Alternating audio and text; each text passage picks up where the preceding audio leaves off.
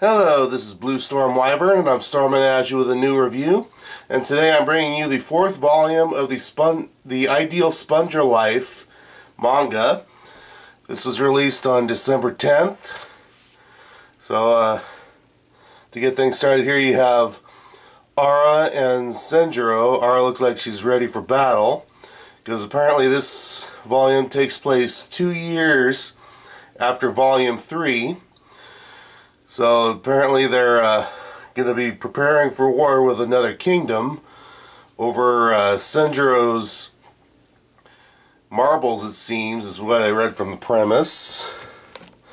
So here's that, right here. The Battle for the Great Salt Road. So,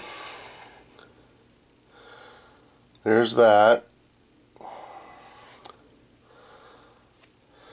And of course there's the spine, and there's Ara again. She seems that she's on the spine of all of them. And that was a picture of her taking a bath. But yeah, this I would say this manga is not for small children. Mostly teenagers, because it's uh, I guess it's a shonen manga. Doesn't it's not done by Shonen Jump, so but it is basically for teenagers.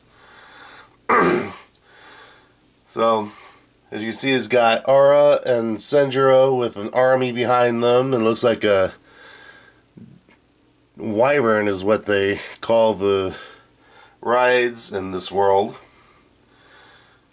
So, and great artwork as always. So, so there you have it. So, as always, like, comment, and subscribe, and I will see you next time.